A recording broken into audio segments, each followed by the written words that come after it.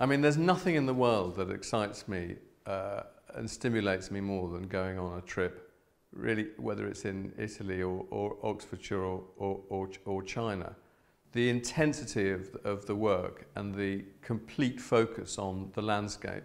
I'm not, I don't know whether it's a, a spiritual thing particularly, but there's a kind of uh, a heightened intensity that accompanies the process that's completely thrilling and at the same time completely exhausting. Huangshan, the Yellow Mountain, uh, was a sort of key destination for me. And I'm almost embarrassed to say this, but European mountains are going to seem rather kind of paltry after the Yellow Mountain. It's the most shocking and extraordinary and dramatic piece of landscape. The Chinese love mountains. Um, they have uh, a kind of spiritual relationship with them and also um, a kind of deep affection for them. And so there are quite a few visitors, but they have a lovely attitude, and the, and the mountains themselves are peppered with temples, which, which gives the landscape scale as well as the people, um, but also constantly reminds you that the mountains are more than just mountains. They're actually um, uh, places, of, places of worship, I suppose.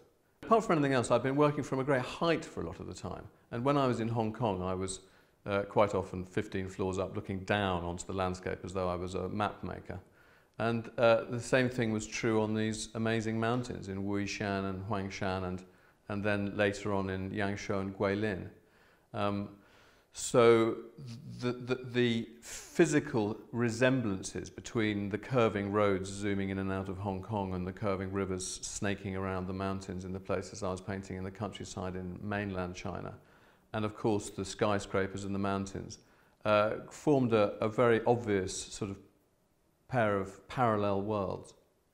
But the paintings now have been have been turned into pictures that are as much about me as they are about China. The thoughts I'm having about, about, about the painting and about the painting in relation to the place. People say, kind of what time of day was that? Or what, I mean, they're, they're, they're no longer times of day all, in, in every case. They're sort of, they're, they're, they're a collage of ideas that I've had about the place and, and a, a seed that was planted while I was there. I don't know how pleased I am because I think it's the, uh, I mean, uh, the, the work's been, the whole process has been an, an adventure. I could have gone down a thousand different paths and I'd like this to be the beginning of something rather than the end.